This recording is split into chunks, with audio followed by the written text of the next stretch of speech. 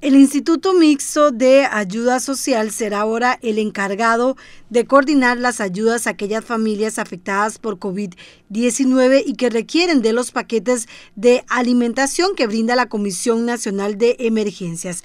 Así se informó por parte de las autoridades locales. Mediante una directriz de la comisión se informó que los casos probables o confirmados por este virus que requieren ser valorados para el otorgamiento de beneficios o intervenciones institucionales se deben tramitar en el IMAS. Tenga muy en cuenta que las órdenes sanitarias debe enviarlas al correo electrónico jcordero.imas.go.cr.